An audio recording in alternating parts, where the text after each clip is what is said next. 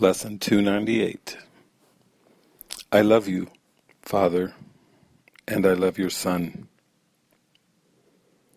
My gratitude permits my love to be accepted without fear, and thus am I restored to my reality at last. All that intruded on my holy sight forgiveness takes away, and I draw near the end of senseless journeys mad careers, and artificial values.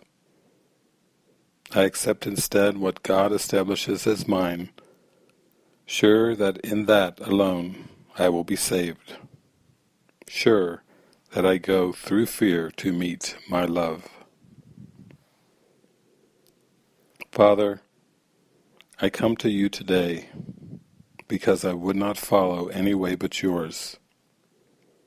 You are beside me Certain is your way, and I am grateful for your holy gifts of certain sanctuary, and escape from everything that would obscure my love for God, my Father, and His Holy Son.